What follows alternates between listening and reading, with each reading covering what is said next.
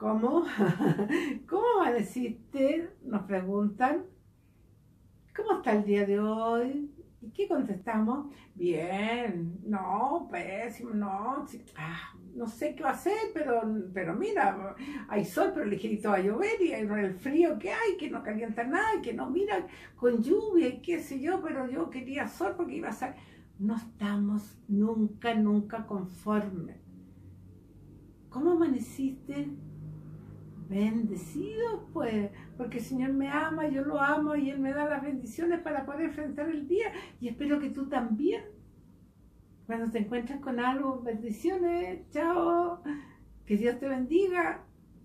Qué lindo, qué lindo. Yo les he contado tantas veces de la experiencia, cómo las personas, aquí sobre todo, hay mucha gente nueva, yo fue dos años que no, que no venía acá al departamento en este onceavo piso, ¿no es cierto? Bueno, hay gente nueva que la antigua ya me veían, conocían, yo les decía bendiciones, se reían, o algunas me decían bendiciones ¿ah? antes. Bueno, mucha gente nueva.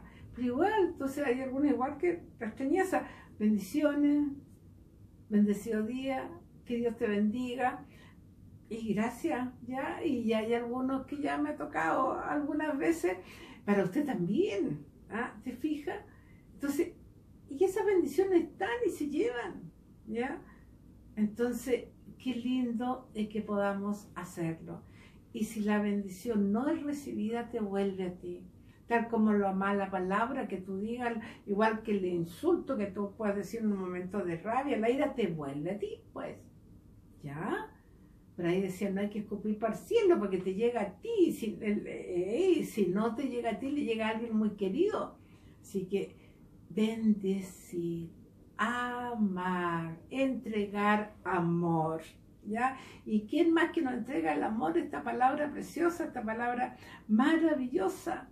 Y mira, vamos en el capítulo 11 de Hebreos ya, y el Espíritu Santo aquí nos tiene que iluminar mucho porque va a empezar a hablar más formalmente de la fe y nos va a mostrar hoy ya la fe de los antiguos en el Antiguo Testamento, cómo por la fe salieron adelante. ¿ya? Y hoy día nos toca, nos toca ver en 11, 1 y 2 el comienzo.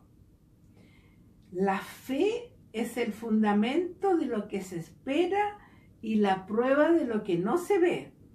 Por ella obtuvieron nuestros antepasados la aprobación de Dios. Palabra de Dios aquí, hermanito querido, nos está proponiendo, ¿ya? Nos está ayudando. Pablo está ayudando a estos hebreos que estaban desesperados con la esclavitud para allá, que tuvieran fe. La fe es el fundamento de lo que se espera, por eso tengo fe, porque espero en algo, ¿ya? Y la prueba de lo que no lo veo, si no ya se acaba la fe. Porque si yo lo veo y lo creo, ya no necesito tener fe en que eso puede ser, en que eso fue. Ya por eso hay que tener esa fe que el Señor vino, que el Señor estuvo y que el Señor me promete estar siempre a este lado y al lado de allá, estar conmigo cuando voy adelante, cuando voy atrás, está siempre conmigo para ayudarme que venció el mal y que Él es el camino. Por lo tanto, con Él vamos a vencer el mal, la muerte, el dolor, el sufrimiento, esto que estamos pasando, todo hermanos queridos. Así que digámosle de nuevo, todos los días. Pedro le decía al Señor que vivía con él, que estaba con él, le decía siempre, aumenta mi fe, Señor, aumenta mi fe. Calcula si él se lo pedía, que estaba con él. ¿Qué espera de ti, de mí? Que también no nos creamos orgullosos ni soberbios porque estamos en el camino del Señor. No, pidamos con fe, Señor, aumenta hoy y cada día mi fe